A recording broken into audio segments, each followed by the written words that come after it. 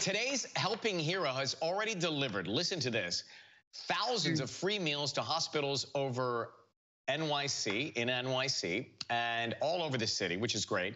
And she has no plans of stopping. We know her, we adore her.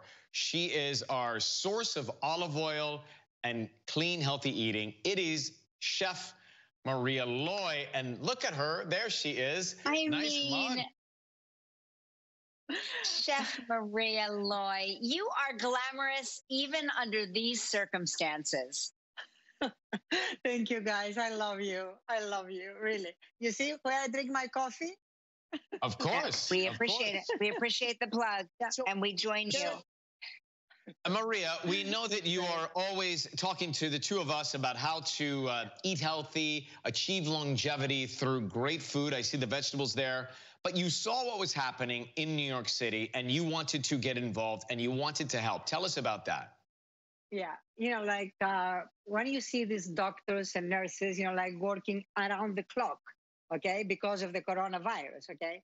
It's okay to eat pizza sometimes, but they need nutritious and delicious food to keep them healthy, as you know that I am all about it, and happy.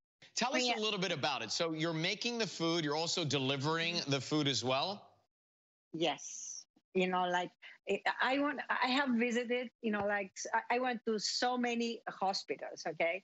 And uh, I, I love, you know, like to see their faces when I deliver, I deliver to them like the good food. It makes me happy because I love to give. You're also feeding the homeless as well, isn't that right, Chef Maria? Well, yes. Um, it's uh, it's for so many people now. They need food and they need our help. Uh, we're doing at least uh, 150 meals per day for the homeless, uh, but also we're doing uh, food for the people that uh, they lost their job and they cannot go and buy things because they have no money. Okay, they cannot buy they cannot buy food. Okay, and uh, we're cooking for anyone who needs it actually, and from the people you know from our environment. Ah, you are divine, Chef Maria. You really are. I know that you've partnered with two other restaurants to also uh, provide meals to the hospital workers. And we just think that what you're doing is so spectacular and so incredible. And uh, we just want to help you with your efforts. We have our partners with uh, Dole. They're giving you $5,000 towards your efforts. So thank you so much for helping feed so many hungry people. We really appreciate you Yes. always. Such a nice people, such a nice people, and keep eating beans because they have zinc.